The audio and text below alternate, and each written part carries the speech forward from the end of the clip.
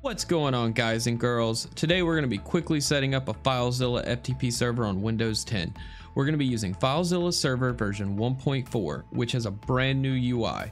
This video is going to focus on just getting your FTP server set up and running. We won't be dealing with security certificates in this video. If you would like to increase the security of your server after getting it set up, I'm going to leave a link in the description below to my video showing how to configure your new FileZilla FTP server to run over TLS. This will create what we call an FTPS connection and is a lot better than connecting over FTP. With all of that out of the way, it's time to start installing FileZilla's FTP server.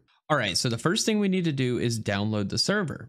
To do this, you can go to filezilla-project.org slash download or you can go to google.com and type in FileZilla FTP server download.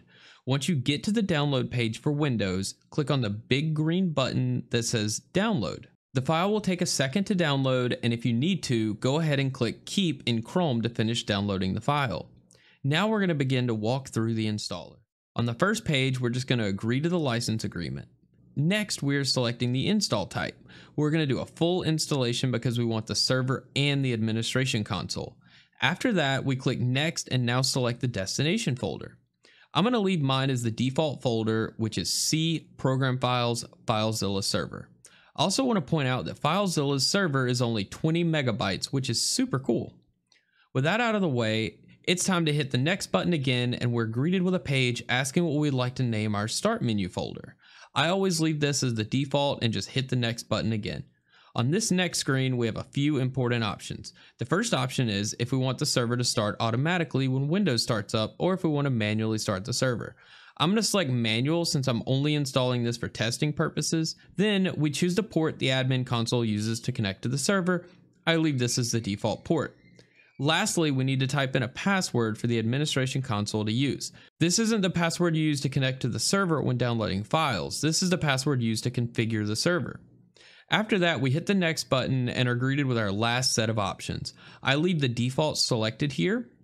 The top option tells the admin console to open every time a user logs in on the computer, and the checkbox tells the admin console to come up when the setup completes. With that, we click install and the magic happens. Now we get a little certificate pop up, we hit OK on that, and now the admin console should pop up for you. If the admin console doesn't pop up automatically, you can just click on the icon in your taskbar to bring it up. Once the admin console is up, we need to click on the button in the center of the screen to connect to the FTP server and configure it.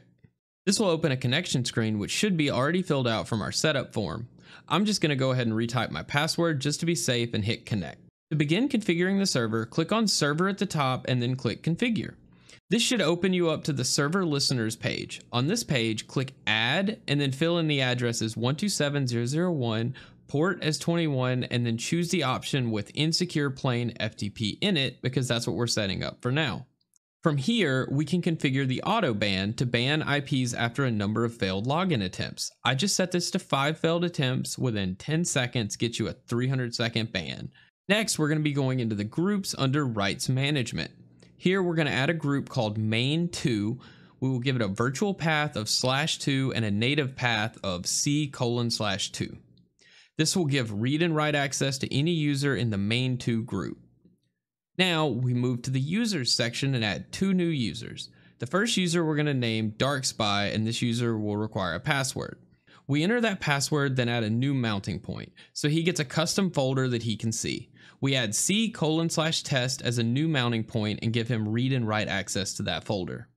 After adding Dark Spy, we begin to add Light Spy. This user will not require a password just to see what that looks like. We'll also make Light Spy a member of the group main 2, so she should be able to see that 2 folder that comes with being a member of that group. I'm also going to add the C slash test folder under her user, so she'll be able to see both of those folders. Now that we're done here, we can ignore the rest of the options and begin attempting to connect to the server using our FileZilla FTP client. So to connect to the server, first open the FileZilla client application and click on the Site Manager.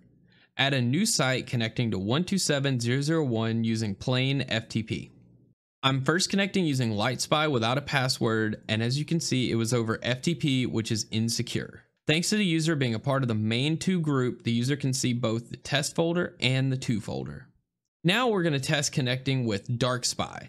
This user requires a password that we need to quickly put in. Once the password is in, we can simply connect and see the test folder. To copy files from the remote folder to your local drive, simply drag them from the right side of FileZilla to the left. And with that, you have successfully set up an insecure FTP server listening on port 21. This can only be accessed from your local network, but even with that, it can be pretty useful.